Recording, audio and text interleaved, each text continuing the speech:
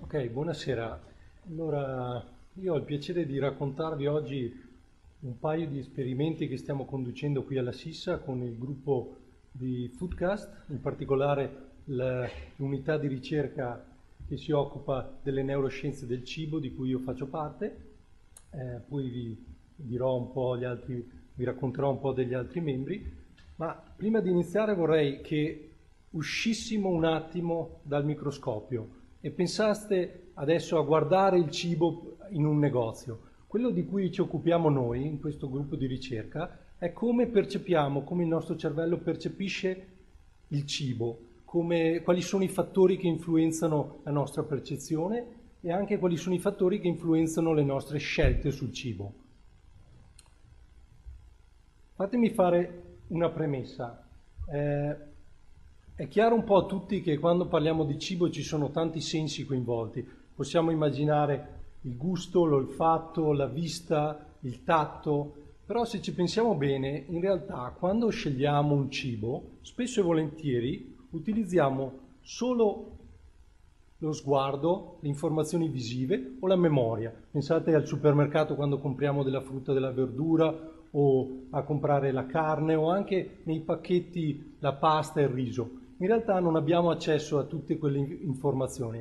Ecco perché nelle neuroscienze lo studio del cibo e di come il nostro cervello elabora le informazioni sul cibo ha incominciato e si è focalizzato molto sull'aspetto visivo e è la stessa strategia che avevamo seguito noi. Per cui in questi due esperimenti in realtà noi parliamo di come il cervello elabora le informazioni sul cibo dal punto di vista delle informazioni visive, quello che vediamo da un'immagine o come potete vedere lì da un pezzo di carne al supermercato o un piatto al ristorante. Si sanno già abbastanza cose su come il cervello elabora dal punto di vista eh, visivo eh, il cibo. In realtà però tutte le informazioni che sappiamo trattano il cibo in maniera abbastanza eh, un, eh, sì, è unica e non, non fanno delle differenze fondamentali. Per esempio questi ricercatori americani ci mostrano quali sono le varie parti del cervello che sono coinvolte nell'elaborazione delle informazioni visive quando veniamo presentati con un'immagine per esempio di un hamburger, un'immagine di una pasta o un frutto. Ci sono diverse strutture del nostro cervello che sono coinvolte, però trattano il cibo tutto allo stesso modo.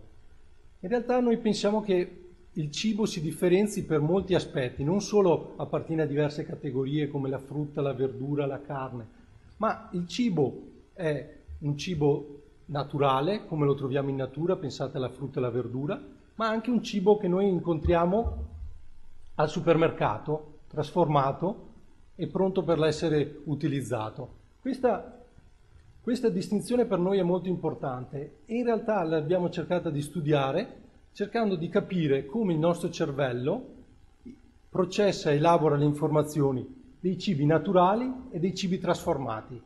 Per trasformati intendiamo una classe di, di cibi molto vasta, va dalla preparazione, immaginate per esempio se dovete preparare una zuppa, potete andare al supermercato o dal fruttivendolo e comprate le diverse verdure e avete a che fare una, fate delle scelte su un frutto naturale eh, su una verdura naturale, lì pronta c'è l'aspetto visivo, la vedete, il colore, l'odore e via dicendo. Però potreste anche comprare al supermercato una zuppa precotta e prefatta. In realtà state facendo una scelta completamente diversa. Scegliamo, eh, l'obiettivo è sempre mangiare una zuppa la sera, però stiamo scegliendo da un contenitore in cui magari l'immagine eh, è l'unica e, e alcuni cenni della memoria sono le uniche informazioni a cui abbiamo accesso. Per cui pensiamo che questa distinzione tra cibi naturali e trasformati sia molto importante. Immaginate che ci sono de, degli antropologi che suggeriscono che nel momento in cui noi abbiamo smesso di semplicemente raccogliere i frutti della terra e di mangiarli e abbiamo incominciato a trasformarli, preparandoli, combinandoli, in realtà è iniziato il momento in cui noi uomini ci siamo distaccati nell'evoluzione dagli altri primati. Quindi questo atto di trasformare i cibi praticamente ci ha permesso l'evoluzione che, che, conosciamo tutti, che ha distin- dist- ci ha distinto dagli altri primati. Allora, il primo esperimento di cui vi voglio raccontare è un esperimento che utilizza una tecnica che, che eh, misura l'attività elettrica del cervello in superficie. Questa è una tecnica abbastanza conosciuta nelle neuroscienze, molto conosciuta dovrei dire, in cui i partecipanti fanno una serie di compiti, per esempio esprimono dei giudizi o fanno dei, dei, delle scelte e via dicendo, mentre l'attività elettrica del loro cervello è misurata con un sacco di elettrodi attaccati eh, ad una cuffia. I compiti possono essere molto semplici, immaginate vi do una frase, vi dico è dolce e poi vi presento un, un cibo e dovete solo semplicemente dire se è vero o no. Oppure potrei dirvi si mangia un matrimonio, oppure eh, si può mangiare come un piatto principale e vi presento un altro cibo. In questi compiti qui si, si, presentano un sacco di cibi diversi e si presentano un sacco anche di, di situazioni diverse. Qui per esempio si parla del, del, gusto che questo cibo ha, qui invece si parla della funzione o del, dello scopo dell'utilizzo. Per cui presentando un sacco di esempi diversi e misurando l'attività del cervello mentre facciamo questi compiti, queste semplici eh, prendiamo queste semplici decisioni, possiamo capire se il cervello considera questo cibo, che è un cibo naturale, allo stesso modo che questo cibo, che è un cibo trasformato. Allora, eh, questa tecnica parte a un, un, sacco di informazioni che vengono trasformate. Quello che, di cui noi ci occupiamo è guardare come il nostro cervello risponde a questi stimoli e poi guarderemo degli indicatori, dei marker, per vedere se il cervello fa la differenza tra cibi naturali e cibi trasformati. Il marker di cui ci occupiamo in questo esperimento in particolare è l'N400, non entro nei dettagli, però è un marker abbastanza conosciuto.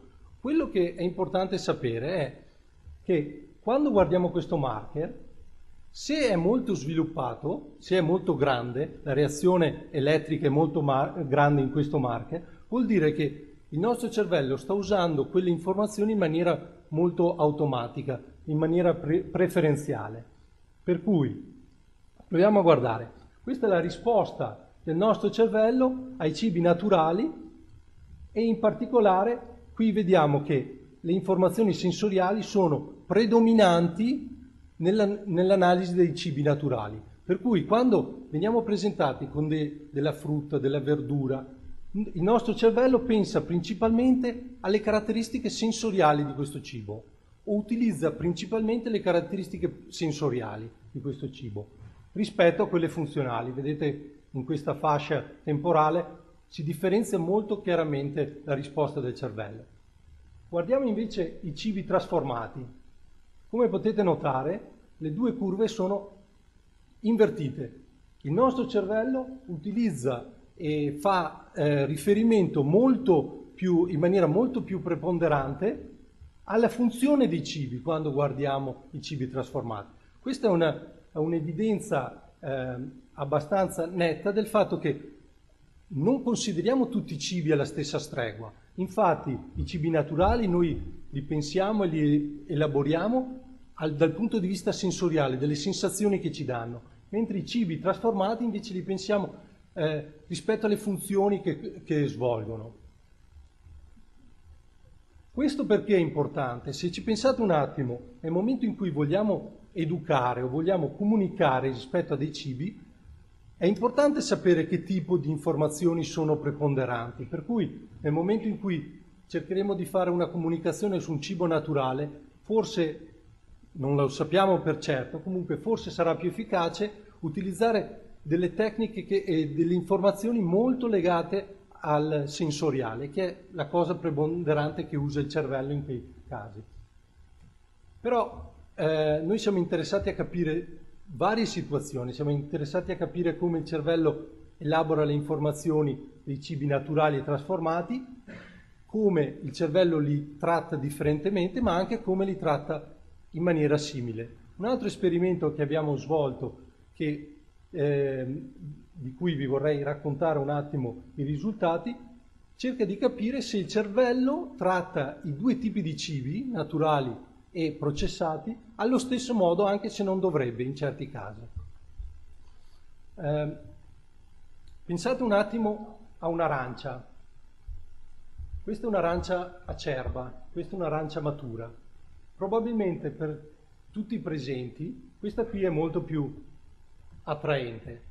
Questa cosa qui, questa distinzione tra l'acerbo e maturo, è possibile perché siamo in grado di cogliere certi aspetti della, visivi di un'arancia durante la maturazione. In particolare siamo in grado di cogliere la distinzione tra il verde e il rosso. Questo è perché abbiamo una visione, una, un apparato visivo che si è sviluppato esattamente per cogliere questa distinzione.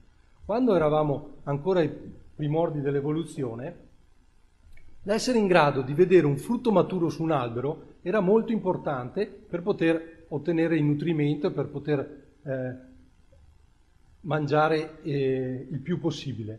Questa distinzione è ancora molto importante nei primati non umani, però se pensate, quando andiamo al supermercato probabilmente non troveremo delle arance acerbe, per cui diventa meno interessante, meno eh, fondamentale per noi questa capacità di distinguere tra il verde e il rosso. Quello che ci siamo chiesti è se questa struttura, questa capacità del nostro sistema visivo di fare una distinzione così fine tra il verde, le varie gradazioni di verde e rosso, è ancora in atto e ancora guida le nostre scelte, anche se non è più necessario. Per cui abbiamo chiesto a dei partecipanti di dirci quanto trovavano invogliante e attraente un'immagine. Abbiamo chiesto per oltre 250 tipi diversi di cibo e questi dovevano semplicemente dirci quanto attraente era. Abbiamo misurato quanto rosso e verde c'era nell'immagine per vedere se la quantità di rosso e di verde determina ancora tutt'oggi il nostro giudizio di attrattività, il nostro giudizio di eh, eh, di quanto vorremmo un certo cibo. Qui vediamo le diverse quantità di colore e qui quanto i, i, i partecipanti hanno detto che gli piaceva e l'attraeva un certo cibo. Come vedete, col crescere del verde, l'attrattività per quel cibo diminuisce. Inversamente, invece, col crescere del rosso, Stiamo parlando di immagini in cui c'è una certa quantità di rosso e di verde, ma col crescere del rosso l'attrattività di un cibo cresce. Il che vuol dire che noi utilizziamo ancora questa strategia che è molto efficace per quanto riguarda la frutta e la verdura, di cercare quei frutti, per esempio, che sono più maturi. Però lo utilizziamo anche nel caso in cui ci siano diversi tipi di frutti. Questi sono due tipi di, diversi di mele, ha, il, il fatto che sia verde e rossa non ha niente a che fare con la maturazione, però noi utilizziamo ancora questa strategia, in un certo senso quasi, eh, anche se è inutile in questo caso, però qui la mela di, di Biancaneve forse era, è stata scelta rossa per qualche motivo, perché noi ancora la consideriamo molto molto attraente. La domanda però eh, pertinente a questo punto è, funziona solo per i cibi naturali o funziona anche per i cibi processati? Pensate un attimo a una pasta al pesto. Dovrebbe essere, solo perché è verde, dovrebbe essere meno attraente di una pasta al pomodoro perché è rossa.